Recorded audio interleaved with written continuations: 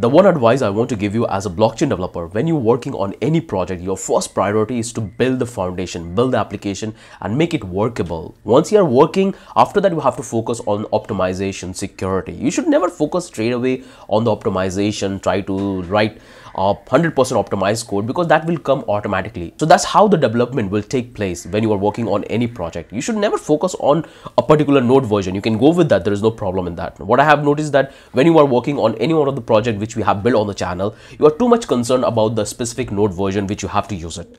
It's not like that. You don't need to focus on node version. Rather, you have to focus on the technology and how we are implementing the logic and how we are building the functionality in the application. The entire functionality of the particular project, which we have think about it, which we have layout about the structure of the project, and then we are building it. So that should be your priority. Whatever node version we have used in the project, you have to use the exact one. Like this version will have minor changes, some sort of advancement, some sort of improvement. So you should not focus entirely on the node version rather than neglecting the other part of the project so your priority is to focus on the project, build the project. If we are using node version 18, 19, 20 or latest one, you make sure to work with that. Make sure to work with that. After that, you can simply improve it and it will help you a lot. So that should be your priority. You should never focus straight away on optimizing the code 100%. Your priority is to work, build the foundation, make it workable once your application is ready. After that, you have to focus on optimization, security, and then how things will go further.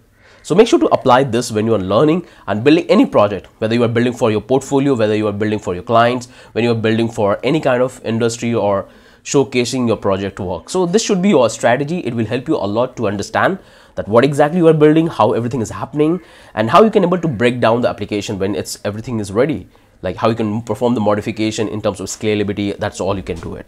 So focus on building. Focus on building make it work. After that you have to focus on technology. So that would be my suggestion for all of you guys that never ever try to focus straight away on the technology. Try to focus and build the project. Once you are comfortable with the project understand the entire architecture which we have included.